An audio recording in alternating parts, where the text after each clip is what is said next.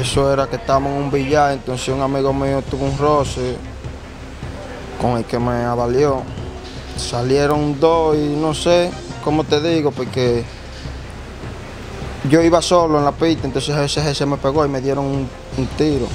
Resultó ser lo mismo de José de Villar. O sea, ellos le persiguieron a ustedes después del robo. A mí sí, me, me persiguieron. Yo no me di cuenta, yo me di cuenta cuando me dieron el tiro.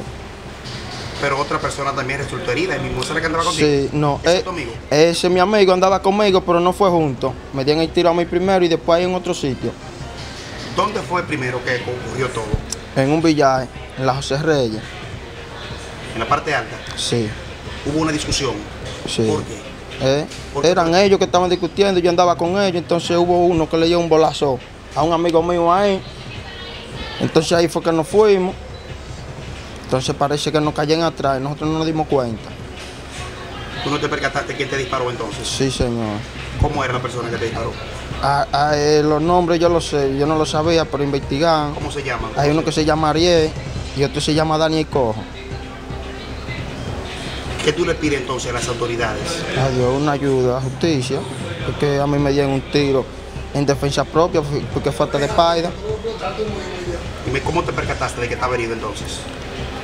¿Cómo te diste cuenta? Ah, porque el pie y hueso se rompió, entonces yo caí de una vez. Fue el fémur que me explotó. Wow. ¿Qué tú haces? ¿A qué tú te dedicas?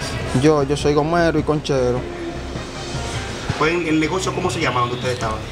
El negocio, eso es próximo a la plantegada de la José Reyes. Y, ¿Cómo ocurrió esto entonces? Eso fue como de las once y media por ahí.